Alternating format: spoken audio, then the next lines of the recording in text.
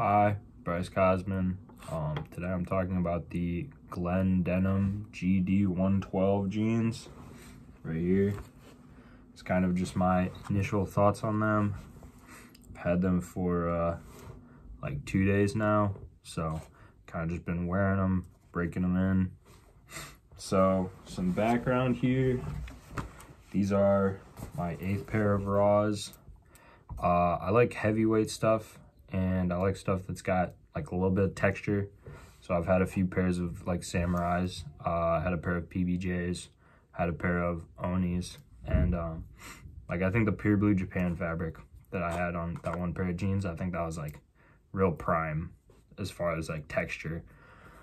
But I like that I can get some texture with Samurai and also really like delve into like some heavyweight stuff. Um, so that's kind of, you know, that.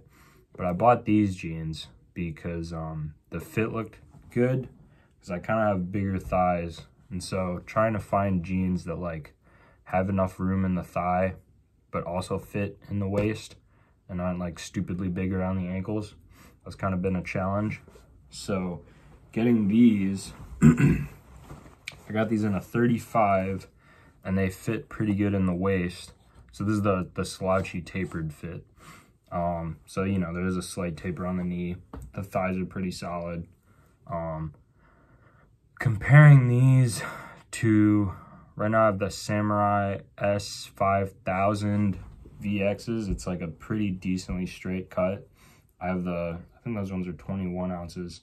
Those ones, I got those in a 36 and the waist is pretty big and the thighs are still kind of snug and then it's huge around the ankles. So like if the thighs were snug, but it fit everywhere else, I would really like it because I really like that fabric. Like if they fit how these fit, then I'd be pretty cool with it, but they don't. Kind of getting off topic. Well, I guess it's still related. But, so these, I do like the fit on them. I think the fit's really solid. Uh, very happy with it. but the reason I got these was uh, Brooklyn Tailors was having a sale. So there's like kind of two types of each jean, it seems like. So, or each fit of each, you know, thing. So you've got like the selvage versions and the non-selvage versions more or less. And so like retail on the non-selvage ones is give or take 200. Retail on the selvage ones is like give or take 300.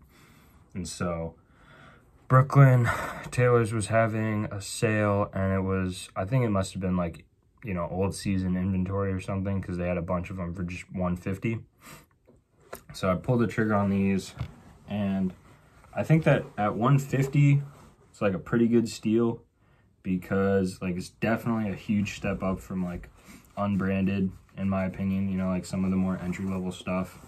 Um, you know, you got, you got fancy little Glenn's denim buttons right there. Pocket bags are, you know, like this cool green. Nice little, you can't see this at all. Oh, a little bit. It says Glenn's denim. It's kind of like suede. It's kind of the same green as the patch, or as the pockets, just a little darker.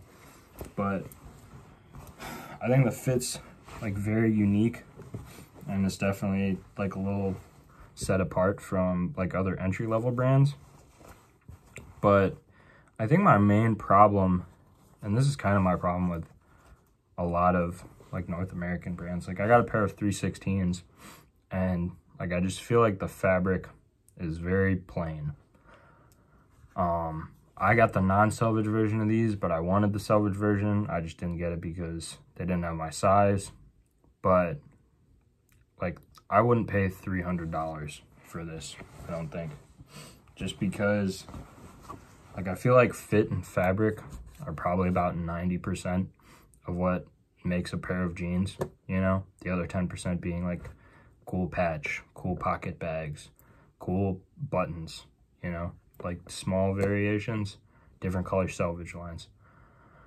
Um, but I feel like these pants like really have the fit down pat that I really want. Um, they're very comfortable, you know, like they, they fit really well. They've kind of got this nice like medium high rise So if you want to wear them a little higher than, you know, like your, your uh, waist, you can. If you want to wear them kind of at your waist, you can. I usually, they kind of end up right under my belly button. So like it's not like a full high rise, but it's a little more than just a standard medium rise. And it's pretty comfy. Um, but just like in my mind, because the, you know, the denim's made in the USA and everything. They get it from, I was looking on the website and sourced from some like small mill, you know, because ever since Cone Mills closed down. But, um, so like that's cool and all, but the fabric just doesn't offer the same cool factor to me as, you know, like other Japanese brands. Because I feel like they're really doing crazy stuff and just the, the texture of that and the variation that you can get and like dyeing and then weaving. I just feel like it really adds a lot to the jean. Uh, I've become a real snob for like raised belt loops and these are not raised, which I can't really count as a strike just because I feel like it's such a niche thing, but it's nice to have. But um, I mean, overall, pretty solid. I think getting them on sale was definitely worth it, like 100%. But like I said, if I was going to pay $300 for a pair of jeans, I wouldn't.